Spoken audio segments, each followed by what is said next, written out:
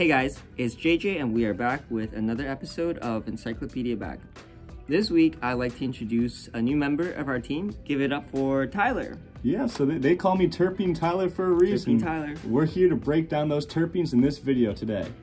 Last week, we looked at several different buds stored in a Grove bag, a plastic DRAM, and a glass jar that was purchased from our local dispensary. Yeah, so Jeff showed under the microscope both the density and robustness of the trichomes of the buds stored in the Grove bags. Here's a full video with the entire range of focus of that initial picture. The video really brings out the depths of some of these trichomes. It's almost like a valley of trikes.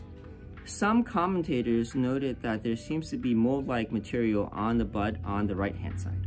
Yeah, this is actually just an optical illusion of a large number of different types of trichomes overlapping each other to look like mold spores.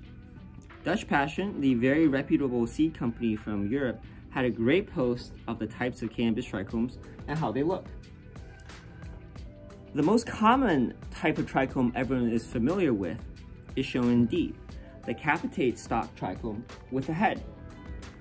Now let's go back to the disco lemonade that was packed in the grow bags. Uh, those tiny hairs on the stem of the photo, those are the super small unicellular non-glandular uh, glandular trichomes and cystolithic trichomes, which are the A and B on the trichome type image.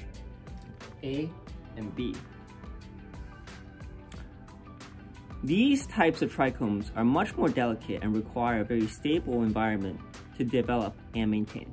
Yeah, so with a Grove Bags cure, many of the variables that are present in other curing methods, such as a sudden change in RH percentage, oxygen levels, and possibly temperature are eliminated through the TerpLoc technology.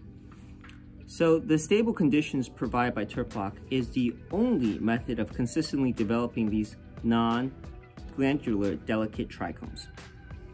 Now, what this ultimately means is a stronger product that will provide users with more medicinal effects and personal satisfaction via the terpene entourage effect, which is when different terpenes and cannabinoids work together to create new and or amplify existing pharmacological uh, psychoactive effects. Therefore, both the quantity and quality of terpenes will not only give it a better nose, but also a better consumption experience. Yeah, and we'd like to thank Dutch Passion for the great resource on trichomes. See you guys next week on Encyclopedia Bag.